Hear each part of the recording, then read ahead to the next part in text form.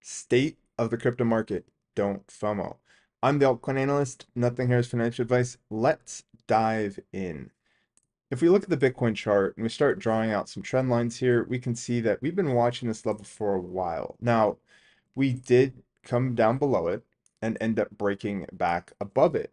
So what does that mean? Well, I think in the short term, we have to see if we actually break this downtrend that we're in, where we've put in a high, we've put in a low, clearly have put in a lower high and a lower low. And now it's yet to be seen if we're going to put in yet another lower high and then come back down and put in another lower low. What am I going to be watching in the short term? Well, if we go to the four hour chart, and I think it's a little bit easier to see on the four hour chart, we can begin to start to mark out some, I think, important levels here.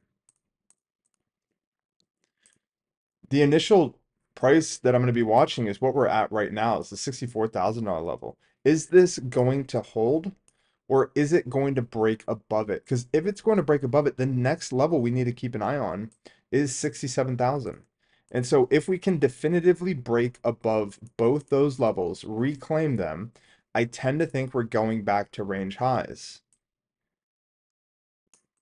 Does that mean we're going to go to new all-time highs? Well, again, I think it largely depends on what the stock market is going to do because on Friday we did get some what I consider to be more neutral. If anything, I, I tend to think it was more bearish leaning employment data, but the market thought it was bullish and, and rallied. So again, I, I tend to think it was probably neutral, maybe a little bit bearish leaning, but if we go to the stock market, we can see that the price action did gap up very nicely today. Is the stock market going to put in a new all-time high? Because if the stock market puts in a new all-time high, I think we're probably going back to range highs for Bitcoin. Now, let's look at the, that unemployment data.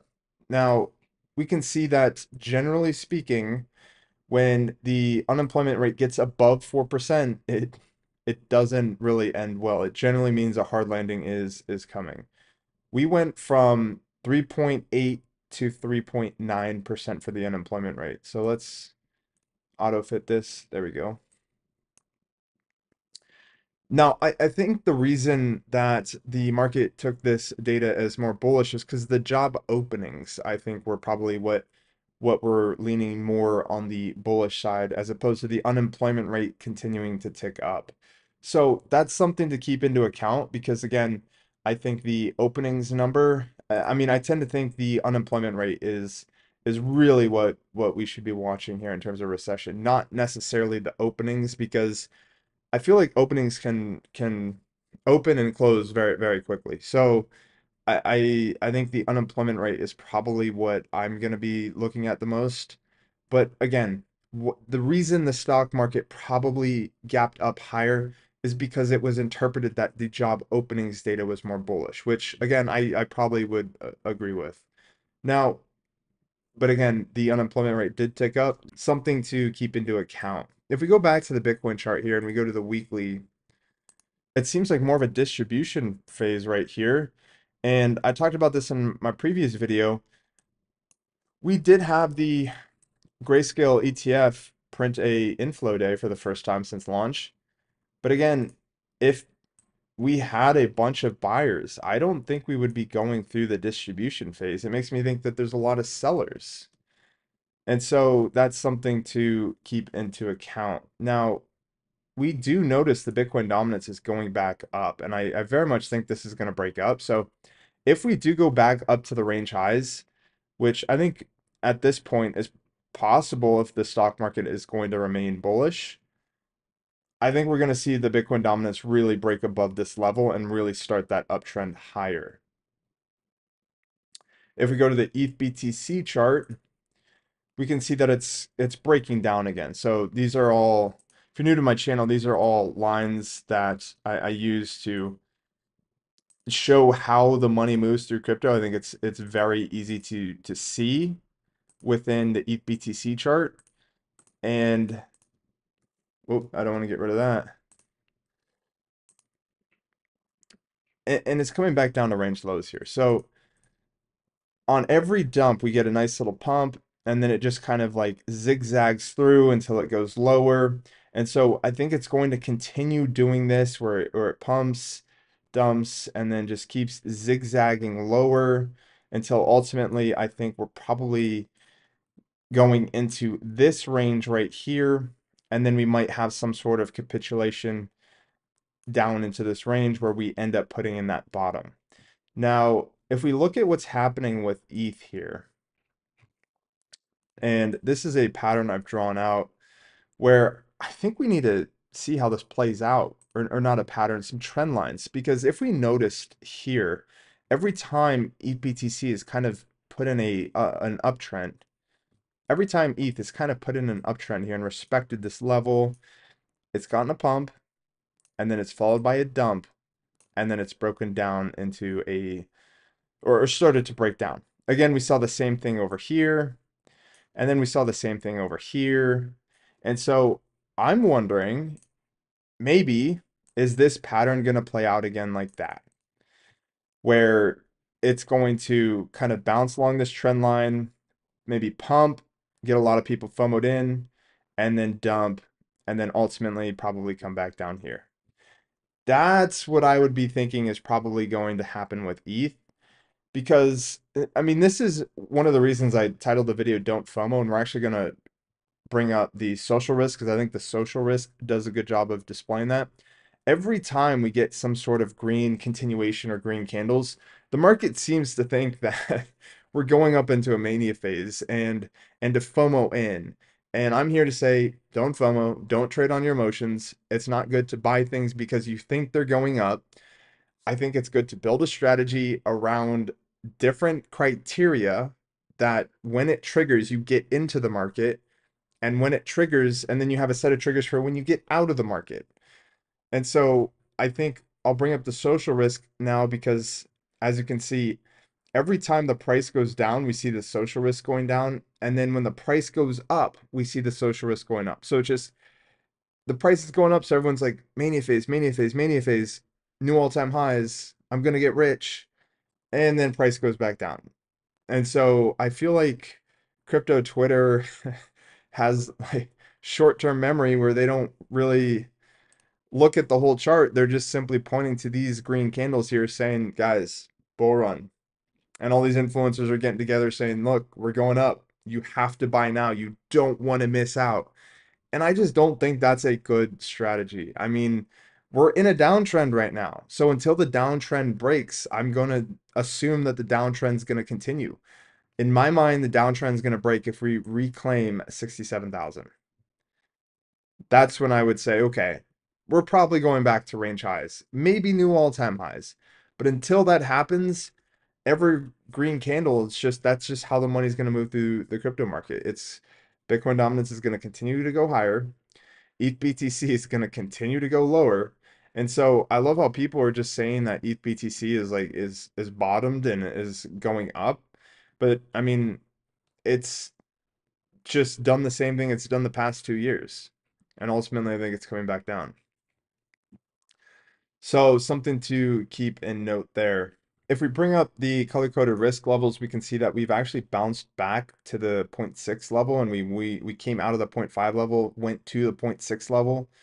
And that's not really notable other than I think that I tend to think we're competing against the stock market here. If we're going up into that left translated peak, we need to the we need to step on the gas because I tend to think the longer the unemployment rate is going to continue to go up, the longer interest rates stay elevated, the more likely a recession is ultimately going to come.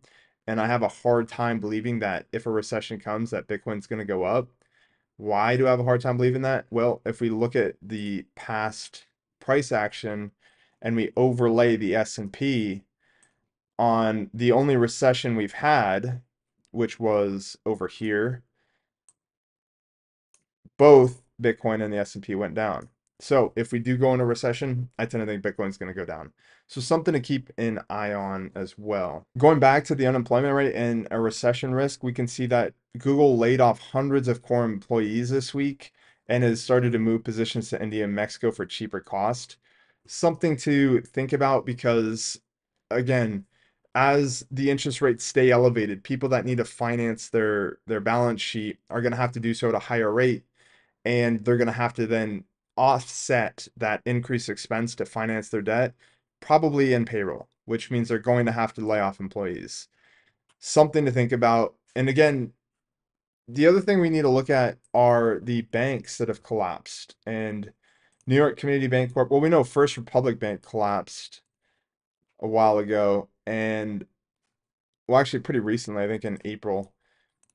And the New York Community Bancorp is still kicking for now, but again, this was one that was having trouble with a lot of. They publicly came out to say that they had a lot of bad debt linked to commercial real estate, and I think they got backstopped. But again, it, it's too soon to tell whether or not New York Community Bancorp is going to suffer as well. But all these regional banks are going to start, as long as the interest rates stay higher, are really going to have troubles here. And I think in the next coming months, and it's going to put a little bit of strain on the larger banks.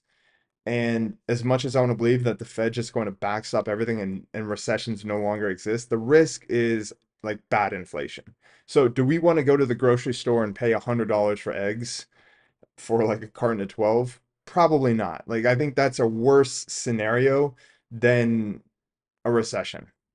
I mean, they're both bad outcomes. I don't want either one of them, but if I'm thinking, do I want to do I want inflation or would I rather have a recession? I don't really want to go to the, the store and, and every time you go to the grocery store it costs a thousand dollars to to buy groceries. And again, I also probably don't want a recession. But that's the give and the take that we're playing with. So it's not really the the Fed can't really dictate an outcome. They just try and put together the best solution to minimize both inflation and to minimize the recession. Is it going to happen? I don't know. But so for those that think a recession is not going to happen because the Fed is simply just going to backstop and print all this money, the end result of that is going to be we're going to the store and and, and groceries normally are what like a hundred bucks, two hundred bucks for a week. Maybe if you have a family of five, they're like a lot more. But if we go to the store in that scenario where we're experiencing inflation, it's going to cost like a thousand bucks a week. And so hyperinflation inflation is not ever really a good thing in history and it always destroys fiat currencies. Will this happen to the US dollar? I I mean probably but maybe not in our lifetime. I think we might consider like continuously see inflation, but probably not hyperinflation unless some black swan event happens. So long story short here, a recession I think is likely because I think the ladder of hyperinflation is a lot worse. So keep that in mind. Again, I don't think Bitcoin and, and crypto are really going to do well in a recession. And I don't think anything's come out that's gotten rid of the looming recession or potentially a looming recession. I don't think anything's came out that's really gotten us out from under that cloud. So again, I I remain cautious. Probably I want to see how the back half of this year plays out. Let's get to the point where the Fed needs to cut rates and and we'll go from there. Because again, like I said, I have three strategies in crypto. I DCA Bitcoin, I yield farm stables, and I buy altcoins when I think they're undervalued or when I think a mania phase is coming. And I do not think a mania phase is coming. Because if we go to the Bitcoin dominance again, a mania phase it happens here happens here before the mania phase we see a downtrend of the bitcoin dominance a downtrend of the bitcoin dominance allowing or, or signaling that the market is moving money from bitcoin to the altcoin market and so that's generally when i think alt alt season is around the corner right now we're breaking out. We're breaking up. So I'm going to be looking for this pattern to play out again. And that's when I'll get interested in altcoins. So with that being said, thanks so much for watching. I'll see you guys next time.